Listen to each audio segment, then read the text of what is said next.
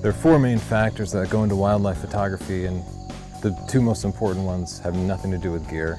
The first is time. Hours and hours spent in the field, they turn into weeks and months total time. This time gives you experience. It lets you learn animal behaviors. It lets you find locations where the animals actually are, understand how the different seasons work, how the tides change the behavior of water birds, for example. You'll be watching the phases of the moon and the weather and the rain time is the most important factor. And the great wildlife photographers, they might have great gear, but the biggest factor is they put in a lot of time. The second most important factor is distance, getting closer and closer and closer to your subject. Experience helps you get closer without disturbing them. Things like camouflage let me get maybe 25% closer. The third most important factor are lenses. And if you go from 400 millimeters to 500 millimeters, you're going to go from spending $1,300 to six or $10,000. I get about the same extra reach out of some camo. You can spend a whole lot on a lens, and big prime lenses like this one are real, real expensive. They will make a difference, but getting closer is always the better option because a big lens won't overcome atmospheric conditions, humidity in, in the air. The further you are, the less sharp you're going to get no matter what kind of glass you have. But if you can get close, even a 70 to 300 lens will produce great results. The last factor here is the camera body. And that's what we're talking about today, because I have the brand new Canon 5 DSR with 50 megapixels and no anti-aliasing filter. So it should be the very best wildlife camera in existence. Nothing else has so many megapixels even in the medium format world, you can get more megapixels, but you can't get big telephoto lenses. This should be the very best camera in the world, but for most of us, it's not. Because there are other factors too. When you start to look at the camera body, it's not all about megapixels. You have to talk, talk about the focusing system. Because the greatest wildlife shots aren't animals who are standing still, but they're animals living, moving, things like birds in flight. And this camera has a good focusing system, but that and the 7D Mark II or the 1DX, they're both better. And both those cameras have a much higher frame rate, shooting at 10 frames a second with the 7D Mark II versus only 5 frames a second on this. So you get twice as many shots. And when a bird is coming towards you, the more shots you get, the better your odds are that one's going to be perfectly sharp and have the wings in just the right position so that they're not casting a shadow on the bird's face. Having twice as many frames will make a huge difference.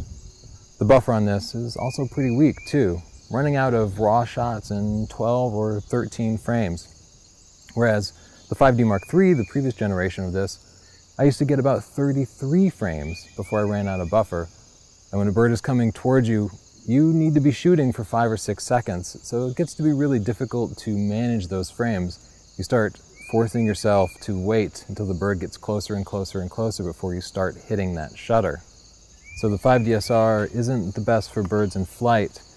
Is it the best for still subjects? Slower moving animals like lions on a safari or small perched songbirds? Well, the pixels are pretty amazing, but you actually get more pixel density with a Canon T6i. It's got 24 megapixels, whereas if you put a 1.6 crop on this, you end up with right about 20 megapixels. It's pretty close to the 7D Mark II as far as detail goes, in those situations where you have to crop.